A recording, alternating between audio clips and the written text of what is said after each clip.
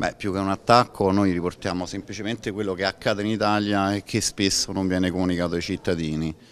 A fine luglio eh, Italia ha venduto parte delle proprie reti di distribuzione energetica del gas e dell'energia elettrica a una società di proprietà pubblica del governo cinese.